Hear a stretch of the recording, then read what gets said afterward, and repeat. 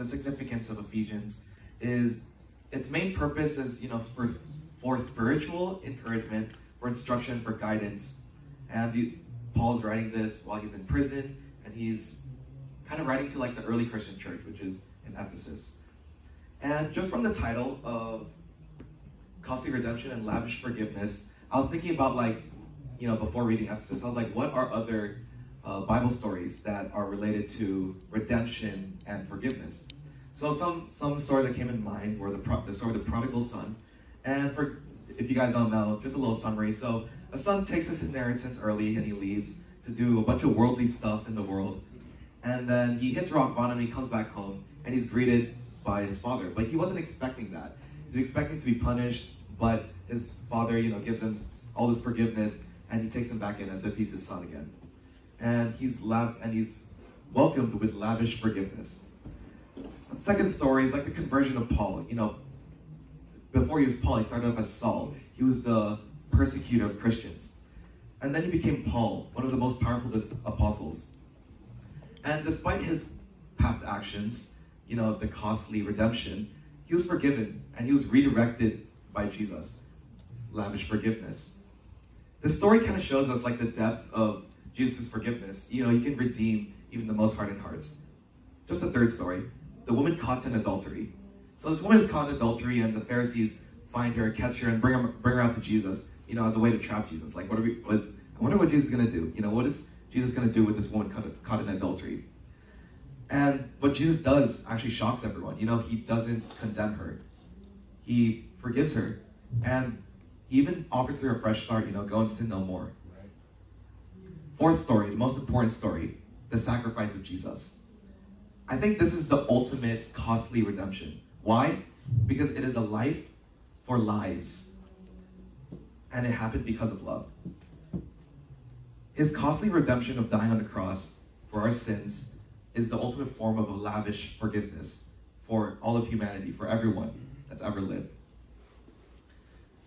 And in this lesson, uh, one of the questions is the theme of redemption. We see a lot in uh, Ephesians 7, 1, or chapter 1, 7 and 8. And then it asks us to compare, okay, what does Colossians 1, chapter 1, verses 3 to 13 have in common with that? What about Titus 2, 13 to 14, and Hebrews 9, verse 15? And I did all the compa- comparing for you guys, but some themes that are brought up over and over again in all these verses is that there is redemption through Christ. Redemption through Christ. Why? Because Jesus is our Redeemer. And another theme that is touched on a lot is the theme that redemption's effects changes the lives of the believers. Amen. There's this costly redemption, there's this lavish forgiveness, but what does that have to do with us? You know, that person can, you know, forgive us as much as they want. That person can, you know, go through whatever they want. But what about us? This is how redemption changes our lives. So to so I broke it down into two of the or the two themes that are in Monday's lesson: costly redemption and lavish forgiveness. So costly redemption, and it's it's it's tied really well to Ephesians chapter one. Why? Because the the summary of Ephesians chapter one is that redemption is to is through Jesus' blood and the forgiveness of and the forgiveness of sins. We see it directly in, in verse 7 and 8 of Ephesians 1, where redemption is through Jesus' blood. I want to touch on that. Redemption through Jesus' blood. Notice how it only says redemption through Jesus' blood and nothing else. Nothing else is explicitly stated, at least. But what about Jesus' power? What about Jesus' love? Can we get forgiveness? Can the redemption, can what Jesus did dying on the cross, can his love and power help us? Or is it just his blood? Well, I want to, I want to challenge that as a question. Can Jesus' love save you? Can Jesus' power save you? Can Jesus' blood save you? Well, in my thoughts, God can love you as much as you want. God does love you tremendously. God has all this power in the world. But what is it if you don't accept his blood? So it's through Jesus' blood that we are saved. Amen. think it's all combined. It.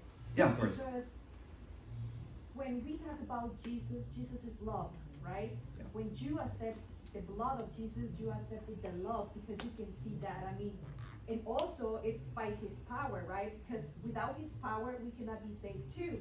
I think the three things that you said, it's combined. It. You know, of course, it has to be blood in order in order to be redeemed, Yeah. right? Because without a blood, none of us will we will be redeemed. Yeah. But I think all of them, you know, all the three things, because all of that is Jesus Christ. We cannot uh, set apart all those characteristics. That's my thought. Yeah, of course. And additionally, in verse five, uh, the at least in my version, it talks about how God adopted our us as His sons, and that's like you know what Pastor Asher was talking about in this in the Sunday portion when he was summarizing everything, is that God chose us before we did anything. We just have to choose Him back, you know. Amen. And then just really quick on the lavish forgiveness part, it's kind of like what what uh, Ephesians chapter two is kind of all about. And we've heard this phrase "by grace through faith," and that's what Ephesians two is kind of hitting on. It emphasizes the free gift that is poured out to those that believe in God or in Jesus. So yeah, that is Monday's lesson. Amen. Man.